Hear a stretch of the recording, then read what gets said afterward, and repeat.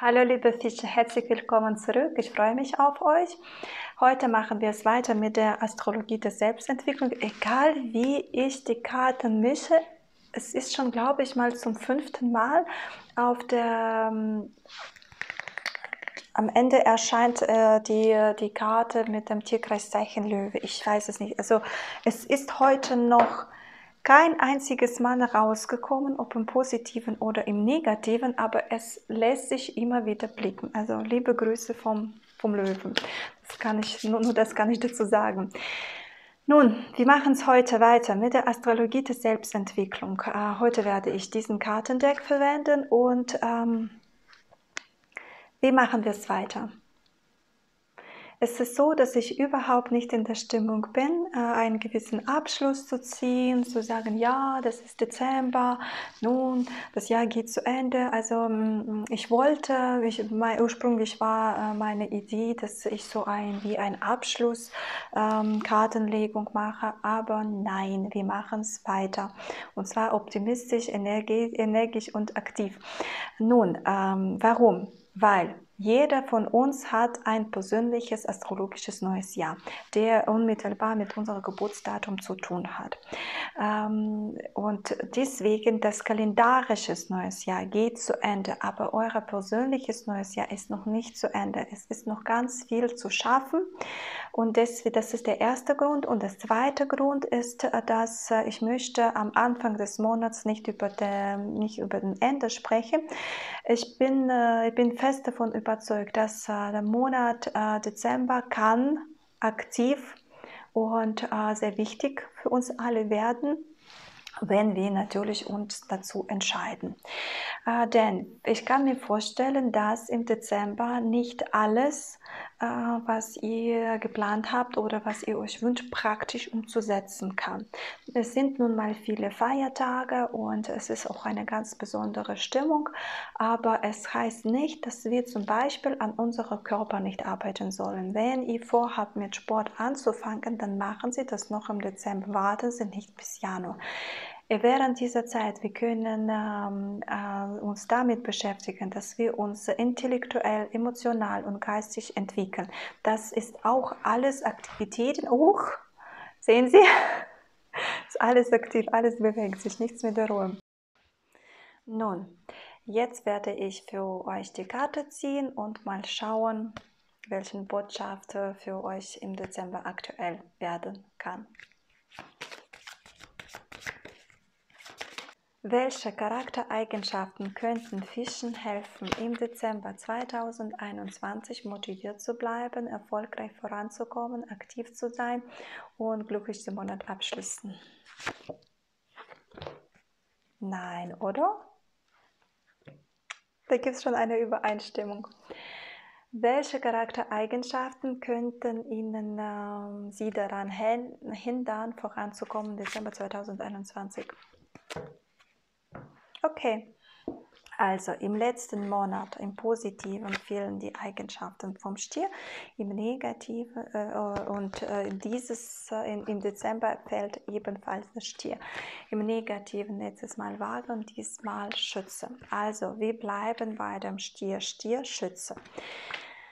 Ah, Stier und Schütze, positiv, also bodenständig zu sein Vielleicht, das ist das auch, womit ich äh, extra angefangen habe. Wenn kalendarisches Jahr zu Ende geht, es heißt gar nichts. Das ist kalendarisches Jahr. Ihr habt ihr eigenes Lebensrhythmus und das ist das Wichtigste ähm, bodenständig zu sein, nicht traurig zu sein. Ähm, also hier zum Beispiel Schütze, das ist immer nach vorne gerichtet. Es kann sein, dass ihr bestimmte Hoffnungen hatten oder sich Ziele gesetzt haben, die unbedingt jetzt bis Ende des Jahres ähm, äh, erledigt werden sollen. Und unter anderem auch äh, aus äh, den Gründen, die jetzt immer wieder in Nachrichten äh, beschrieben werden oder ausgesprochen werden, auch durch die ähm, äußerlichen Einflüsse könnte etwas nicht zustande gebracht, äh, gebracht werden. Seid nicht traurig, bleibt trotzdem positiv und ähm, anerkennt das, was ihr geleistet habt. Also nicht äh, sich niedergeschlagen fühlen, falls die Ziele nicht erreicht würden. Das ist der Feld schon zum zweiten Mal. Das ist auch ein Zeichen dafür, dass die Ideen, ähm, die ihr bis jetzt hatten oder eure Kenntnisse oder Fähigkeiten, die sie bis jetzt haben, die müssten angefangen werden, langsam den festen Untergrund zu bekommen. Also von, von äh, das, was da sich auf dem Horizont irgendwo befindet, wenn überhaupt, sollte dazu ähm, sollte äh, es äh, dazu kommen, dass sie anfangen, etwas praktisch zu machen. Vielleicht es kann sein, dass im Dezember, falls ihr sich ein bisschen verloren fühlt, dann machen sie etwas mit den Händen sei, ähm, Sie können etwas mit Polymerton machen oder mit normalen Ton oder mit Holz oder malen oder, ähm, oder halt kochen. Stier, Venus, das ist alles das, was unseren Magen und unserem Körper gut tut, äh, damit, äh, falls ihr in dem Zustand seid, dass ihr nicht wisst, wohin damit oder alles ist sinnlos, fängt etwas ähm, äh, zu machen, wie ich schon sagte, mit den Händen etwas ganz, ganz Praktisches, etwas, was Sie äh, greifen können. Äh, das ist es. Also hier wäre in dem Sinne zu lernen, ähm, wenn etwas nicht erreicht ist, das heißt nicht, dass sie sich verabschieden sollen von diesem Ziel, sondern äh, nicht deswegen panisch werden, sondern zu lernen, hier und jetzt sich gewissen Untergrund, gewisse Stabilität und Fundament, Fundament zu schaffen und äh, ganz klein äh, anzufangen, äh, die, die Gedanken, die Ideen, äh, praktisch umzusetzen. Also mein Beispiel, mein privates Beispiel ist es so, dass ich äh, die Hälfte meines beruflichen Weges kreativ äh, war und äh, die zweite Hälfte äh, war ich dann auch in dem wirtschaftlichen Bereich tätig. Und ähm, ich habe auch eine abgeschlossene Malausbildung, also als Malerin. Und ich dachte mir zum Beispiel, wenn ich das mit der Hand malen kann, dann kann ich das auch in den grafischen Programmen.